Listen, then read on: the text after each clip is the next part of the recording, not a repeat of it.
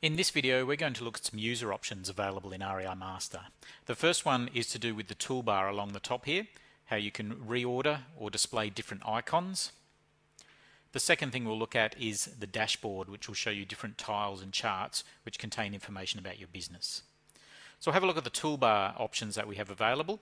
So these are based on user options. So under setup, users profiles portfolios and user options we are looking at the toolbar tab here.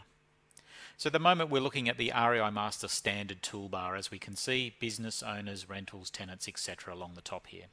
What we can do is customize this toolbar. So in the drop down list here we select the custom option. We then have the ability to select the different icons or buttons that will display and the particular order. So I'm just going to rearrange these slightly. We'll just look at it from a, a holiday slash permanent uh, database. So my first button, I'm going to replace the business one with a bookings one. I'm just going to reorder how I see my owners, rentals and tenants as well. I'm going to change this one here to a tenants. Uh, we'll look a bit more at some uh, booking or holiday information agents and allotments.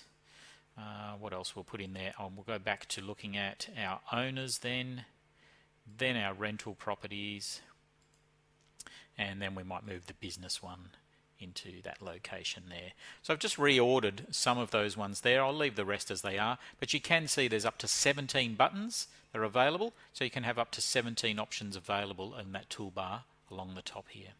So once I've made my changes here, save and close, you'll see then that these icons or buttons have now been reordered into one that I prefer uh, to have the order in. These options are available per user. So I've logged in under my user here. So this is how my user is set up to see the icons in that particular way. Next we're going to look at the dashboard. So again that is a user option available from setup, users profiles portfolios, user options and then the dashboard here. So the first thing we need to do in order to see the dashboard is to activate it and I won't, leave, I won't make any changes to these selections here. We'll just save and look at what shows up first. So what we have here is a number of tiles that display. Now based on my database having a mixture of holiday and permanent rental types, we get information about some holiday detail, arrivals, booking deposits, departures, housekeeping, etc. But we also get some information about tenants there, so tenants vacating, tenants in arrears. So these are the tiles that we've activated to see on the dashboard. There is a number of charts then that can inserted uh, in the blank spaces that we see. So let's have a look at those now as well. Under the setup option, users profiles portfolios, back into user options, and then the dashboard tab, we now have up to five charts that can display in that grey space that we can see. So underneath the drop down list here you can see there's more than five charts that can be displayed. So I'm just going to pick the first five as an example.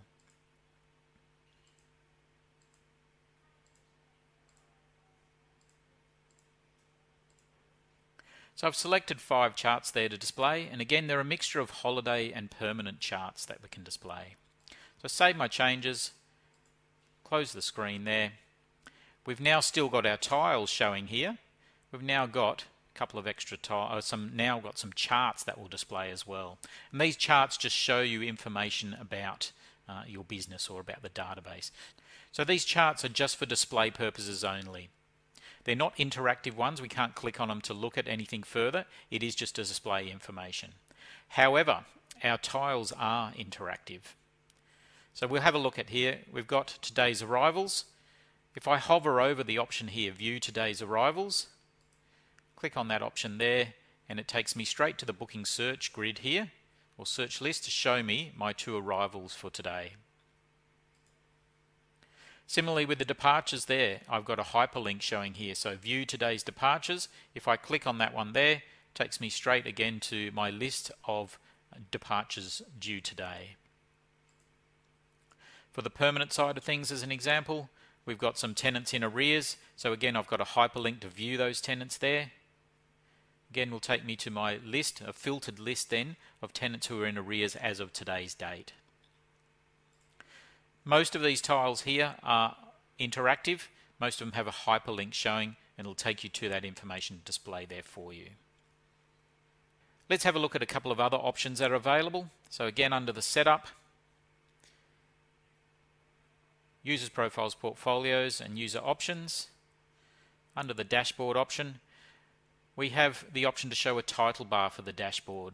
So I'll tick that one on, save and close. So what we now get is our dashboard showing up on a white background here or a little white screen.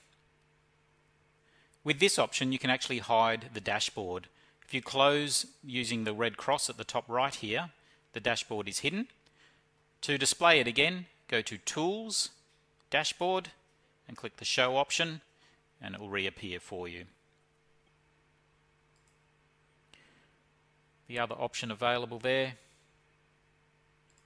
to darken the tile labels. So click on that one there, save and close.